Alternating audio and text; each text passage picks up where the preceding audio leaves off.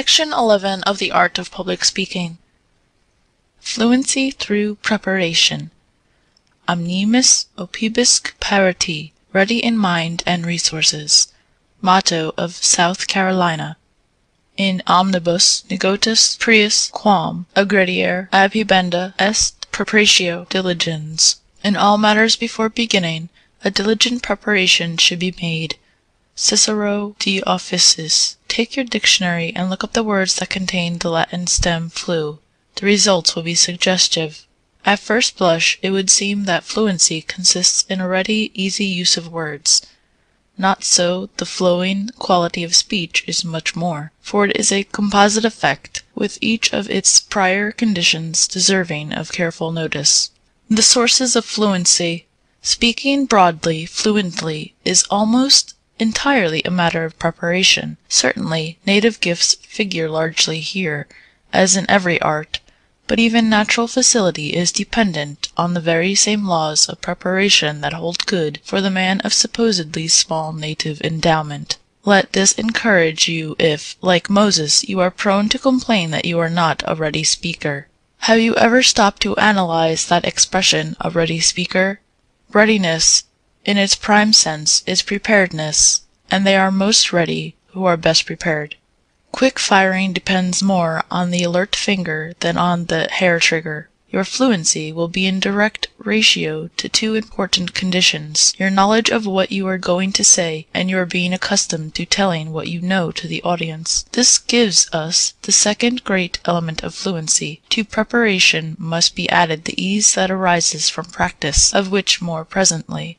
Knowledge is essential. Mr. Bryan is a most fluent speaker when he speaks on political problems, tendencies of the time, and questions of morals. It is to be supposed, however, that he would not be so fluent in speaking on the bird life of the Florida Everglades. Mr. John Burroughs might be at his best on this last subject, yet entirely lost in talking about international law. Do not expect to speak fluently on a subject that you know little or nothing about. Sisyphon boasted that he could speak all day, a sin in itself, on any subject that an audience would suggest. He was banished by the Spartans. But preparation goes beyond the getting of the facts in the case you are to present. It includes also the ability to think and arrange your thoughts, a full and precise vocabulary, an easy manner of speech and breathing, absence of self consciousness, and the several other characteristics of efficient delivery that have deserved special attention in other parts of this book, rather than in this chapter.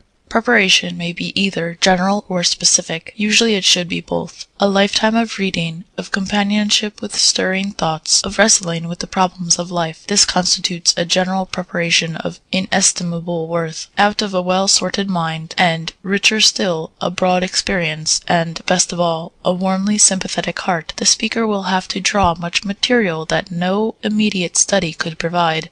General preparation consists of all that a man has put into himself, all that heredity and environment have instilled into him, and that other rich source of preparedness for speech, the friendship of wise companions.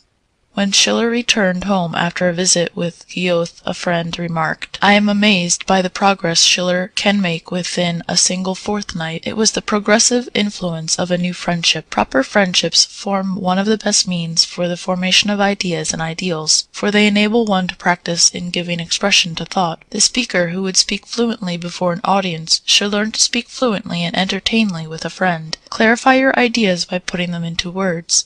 The talker gains as much from his conversation as the listener. You sometimes begin to converse on a subject thinking you have very little to say, but one idea gives birth to another, and you are surprised to learn that the more you give the more you have to give. This give and take of friendly conversation develops mentality and fluency in expression.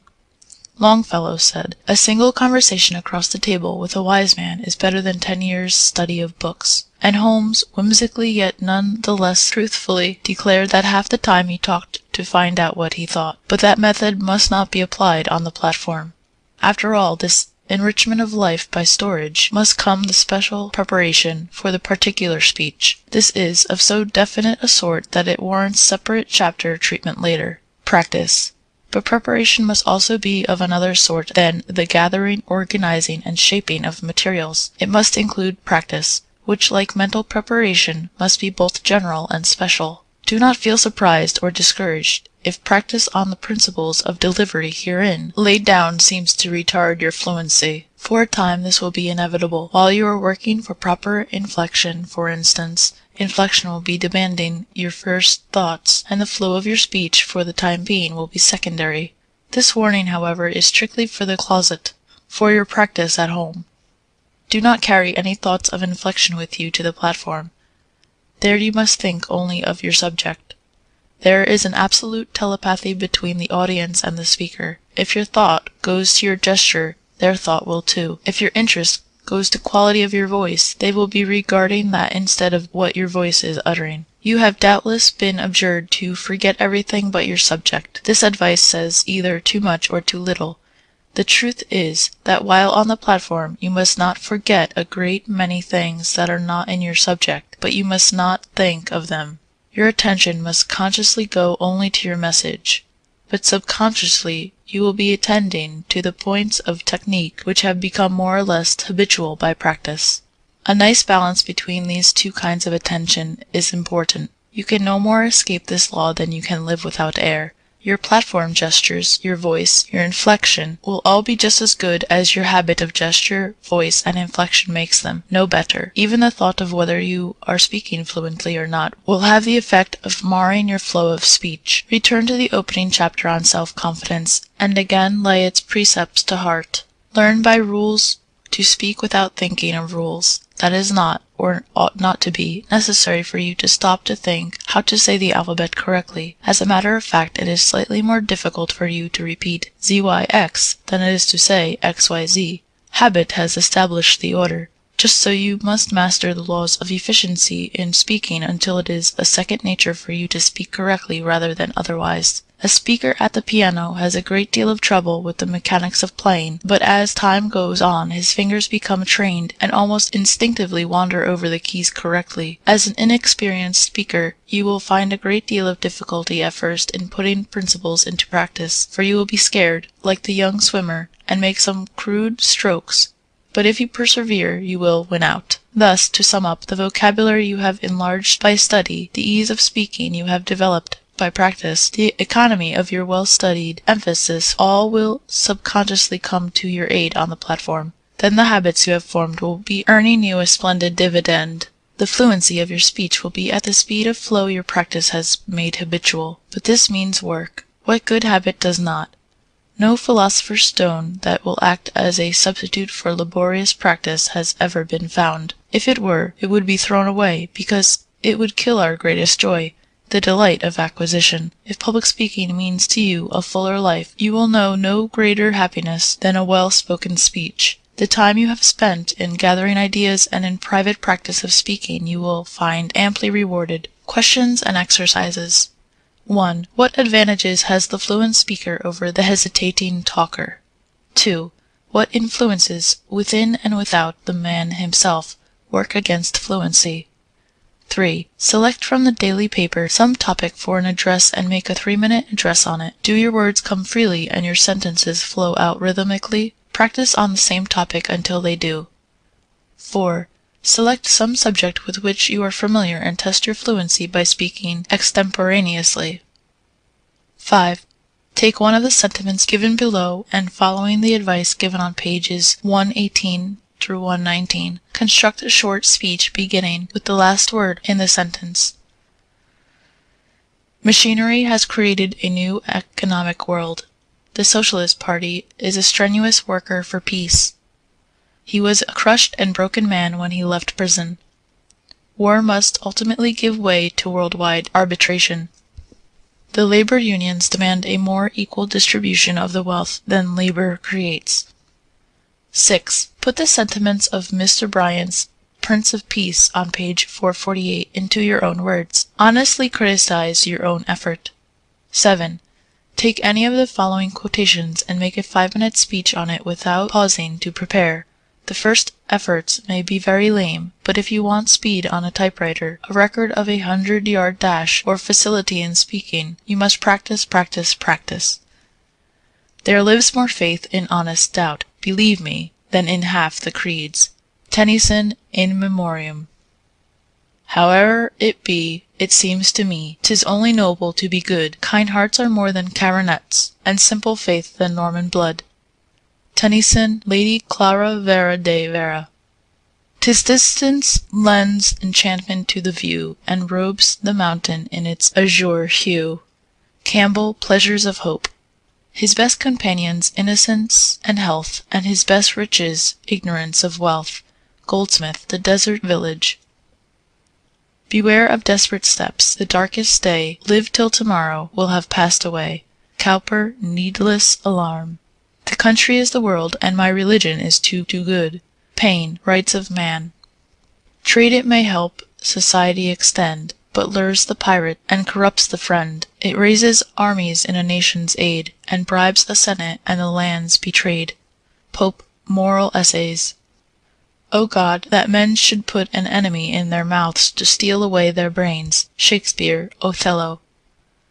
It matters not how strait the gate, How charged with punishment the scroll, I am the master of my fate, I am the captain of my soul. Henley, Invictus.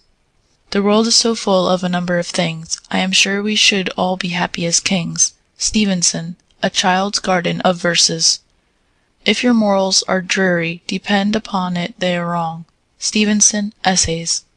Every advantage has its tax. I learn to be content. Emerson, Essays.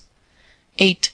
Make a two minute speech on any of the following general subjects, but you will find that your ideas will come more readily if you narrow your subject by taking some specific phrase of it. For instance, instead of trying to speak on law in general, take the proposition, "The poor man cannot afford to prosecute," or instead of dwelling on leisure, show how modern speed is creating more leisure.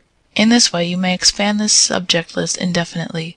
General themes: law, politics, women's suffrage, initiative and referendum, a larger navy, war, peace, foreign immigration. The liquor traffic, labor unions, strikes, socialism, single tax, tariff, honesty, courage, hope, love, mercy, kindness, justice, progress, machinery, invention, wealth, poverty, architecture, science, surgery, haste, leisure, happiness, health, business, America, the Far East, mobs, colleges, sports, matrimony, divorce, child labor, education, books, the theater, literature, electricity, achievement, failure, public speaking, ideals, Conversation, the most dramatic moment of my life, my happiest days, things worth while, what I hope to achieve, my greatest desire, what I would do with a million dollars, is mankind progressing, our greatest need. End of section 11.